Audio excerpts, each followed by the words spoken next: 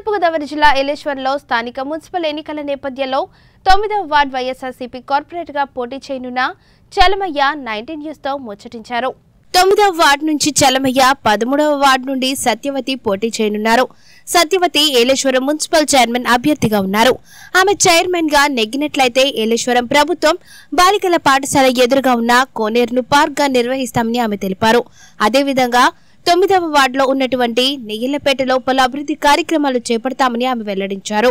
పన్నెండవ వార్డు అభ్యర్థిగా సామంతుల హైమావతి పోటీ చేయడం జరుగుతుందని పద్నాలుగవ వార్డు వైసీపీ పార్టీ అభ్యర్థి మరియు తదితర వార్డుల అభ్యర్థులు కూడా ఈ కార్యక్రమంలో పాల్గొనడం జరిగింది. గతంలో రెండు వేల ఒకటో సంవత్సరం నుంచి రెండు వేల ఆరో సంవత్సరం వరకు కూడా గ్రామ పంచాయతీ సర్పంచ్గా పనిచేశాను.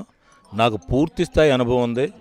అంతకుముందు లేనటువంటి అభివృద్ధి నేను సర్పంచ్ అయిన తర్వాత సుమారుగా తొమ్మిది వేల లీటర్లు తొమ్మిది లక్షల లీటర్ల తాలూకు వాటర్ ట్యాంకులు కట్టించడం జరిగింది. మూడు వాటర్ ట్యాంకులు కట్టించాం.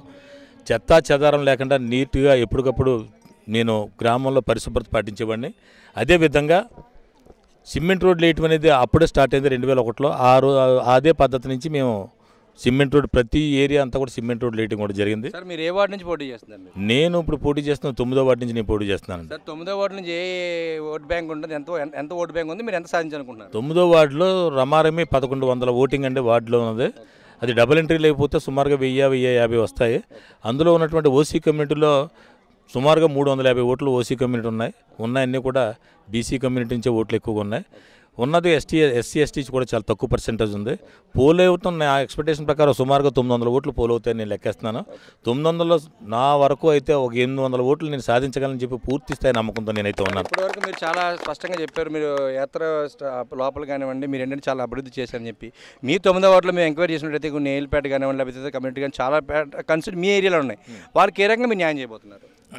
ఆ కమ్యూనిటీకి చాలా వరకు అన్యాయం జరిగిందని చెప్పాలి ఇంతవరకు. అప్పుడు ఆ రోజు అంటే ఫిషర్మెన్స్ కమ్యూనిటీకి గతంలో ఉన్నప్పుడు అప్పుడు చేసిందే తప్ప తర్వాత ఎవరో దాన్ని అభివృద్ధి చేయలేదు. వేస్ట్ వాటర్ అంతా కూడా వాళ్ళ యొక్క కాలనీ మధ్యలో చెల్లడం వల్ల దుర్గంధంతో ఉండిపోతుంది. ఆ వేస్ట్ వాటర్ వల్ల చాలా ఇబ్బందులు అయితే పడుతున్నారు. శానిటేషన్ పూర్తి స్థాయిలో లేదు. నేను సర్పంచ్గా చేసిన ఒక విషయం మీరు గమనించాలి. రెండు వేల ఒకటి నుంచి రెండు వేల ఆరు దాకా చేసిన పీరియడ్లో మూడు సార్లు ఉత్తమ పంచాయతీగా అవార్డులు రాష్ట్ర స్థాయి నుంచి నేషనల్ స్థాయి కూడా నేను వెళ్ళడం జరిగిందండి అప్పుడు. దాని సర్పంచ్ ఉత్తమ సర్పంచ్గా అదే దృష్టిలో ప్రజలు ఉన్నారు నేనైతే పనిచేస్తాను పూర్తి స్థాయి నమ్మకంతో ఉన్నారు. ఆ నమ్మకాన్ని మాత్రం ఒమ్ము చేయకుండా పనిచేయాలని ఉద్ద- ఉద్దేశంతో ఉన్నాను. నా వెంట పర్వత పూర్ణచంద్ర ప్రసాద్ గారు ఉన్నారు జగన్ గారి నాయకత్వం ఉంది. నన్ను నమ్ముకున్నటువంటి నా కార్యకర్తలు నాకు ఇక్కడ ఇప్పుడు ఈ క్షణంలో సుమారుగా పది మంది కౌన్సిలర్గా పోటీ చేస్తున్న క్యాండిడేట్స్ ఇప్పుడు నాతో పాటు కంటిన్యూ ఉంటున్నారు. సార్ తెలుగుదేశం అభ్యర్థులు కొంతమంది మేము కాకినాడ జడ్పీఐలో ఇన్ఫర్మ్ ఇలా ఇంటర్వ్యూ తీసుకున్నప్పుడు జగన్మోహన్ రెడ్డి చేస్తున్న ఒంటెద్ది పోకడ ఖచ్చితంగా టీడీపీ విజయాన్ని సంకేతం మోగుతుందని చెప్తున్నారు. దీన్ని మీరు స్పందిస్తారు? అదైతే చాలా తప్పుడు సంకేతం తెలుగుదేశం వాళ్ళు ఏదో ఆశ కోసం మాట్లాడుకోవడం తప్ప కుటుంబానికి యజమాని అన్నవాడు ఒకడే ఉండాలి.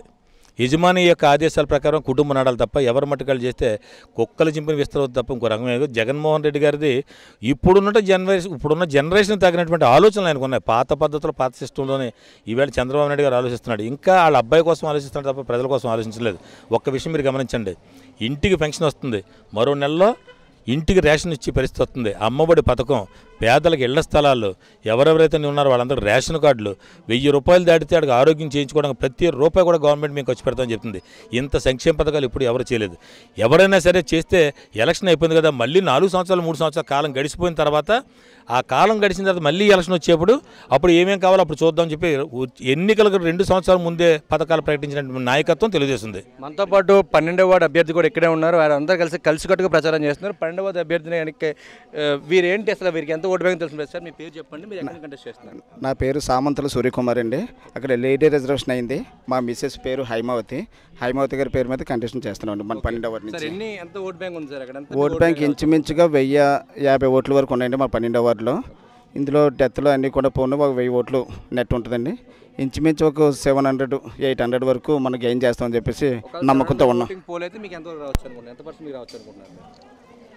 సెవెంటీ ఎయిటీ పర్సెంట్ రావచ్చని చెప్పి నేను ఎక్స్పెక్ట్ చేస్తున్నానండి మీరు జగన్మోహన్ రెడ్డి గారు తీసుకున్న నిర్ణయాలు మీకు విజయానికి సోపానం అంటారా? అవుతాయండి.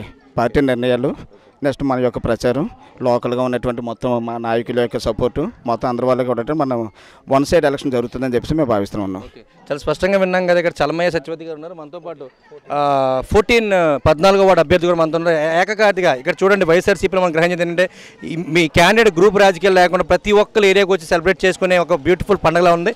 ఇప్పుడు ఫోర్టీన్ వార్డు నుంచి ఒక ఆయన ఉన్నారు. వాడు అక్కడ సార్ చెప్పండి మీరు పద్నాలుగు వార్డు నుంచి పోటీ చేస్తున్నారు. ఏ డెవలప్ చేద్దాం అనుకుంటున్నారు?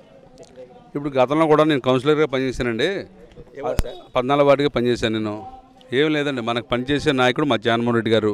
ఆయన ఖచ్చితంగా మంచి మంచి పథకాల్లోకి ప్రజల్లో ఉన్నారు. ఇదే విధంగా అదే వార్డులో పద్నాలుగు వార్డులో నేను పనిచేసిన ఐదు సంవత్సరాలు కూడా నా వంతు సహకారం నేను ఎప్పుడు కూడా ఇచ్చాను. ఎక్కువ అభివృద్ధి చేశాను ప్రజల్లో ఉండే మనిషిని.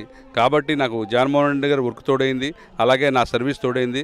దాంతోపాటు పెద్దలైనటువంటి అలమడి చలమయ్య గారు మా అన్నయ్య గారు ఇలాగ మా తోటి కౌన్సిలర్ అందరి సహకారంతో కూడా రాబోయే రోజుల్లో మరింత అభివృద్ధి పథంలో నా వార్డుని తీసుకెళ్తానని చెప్పి నేను కోరుకుంటున్నాను సార్. నాలుగో వార్డు అభ్యర్థి పద్నాలుగో వార్డు అభ్యర్థి పన్నెండు పదమూడు అలాగే పన్నెండు అభ్యర్థులు అందరూ కూడా మనతో పాటు కమ్యూనికే మనతో పాటు ఉన్నారు. వాళ్ళు కేవలం ఏలేశ్వర అభివృద్ధి కోసమే మేము పోరాడతామని చెప్పి చాలా స్పష్టంగా చెప్పడం జరిగింది. ఇంతే కాకుండా చలమయ్య గారి ఆధ్వర్యంలో ఎన్నో ఎన్నో సంక్షేమ పథకాలు చేసాము ఎంతోమందికి ఎన్నో కార్యక్రమాలు చేశామని చెప్పి వారు బలవంతం చెప్తుంది.